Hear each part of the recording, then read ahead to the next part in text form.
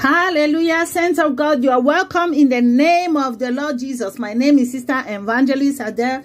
I want to address today the double nature theology that so many preachers are teaching. This double nature theology says that you can be in the spirit and in the flesh at the same time. That means you can be an old creation and a new creation at the same time. That means you can be with God and with the devil at the same time. So that is the theology most people are teaching today so this theology comes from the devil.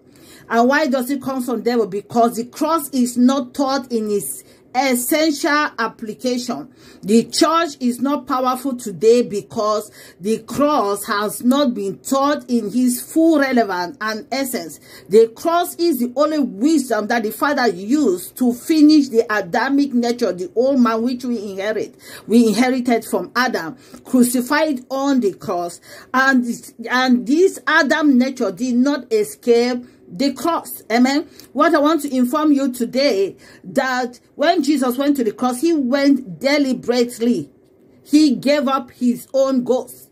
Amen. In Jesus' name. When he saw everything was finished, he cried out and said, it is finished.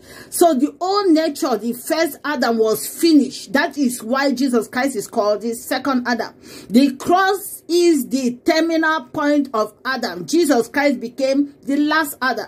So we too, when we come to Calvary, to the cross, our Adamic nature is finished there, died, with Christ, done away.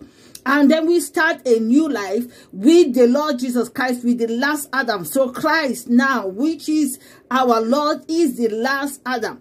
So when you hear Paul say things like, how can I who is dead to sin live any longer therein? He is speaking from the reality that happens on the cross. Amen. In Jesus' name. So who is a real born again Christian? A real born again Christian is not the a person what he does or a real born again Christian is not someone who is doing something, but a real born again Christian is somebody who have died on the cross, the old life that he inherited from Adam terminated on the cross and he has received a new life, a new creation life and it is Christ kind of life as the Bible says, if anyone be in Christ is a new person, it's a new creation, you are a new species of person. Amen. So Jesus Christ is the one that started the new race called the new creation people. So the Adamic race was done and destroyed on the cross because God could not tame that old nature and God could not even train that old nature. So he took it to the cross and crucified it. So Paul said, I'm crucified with Christ.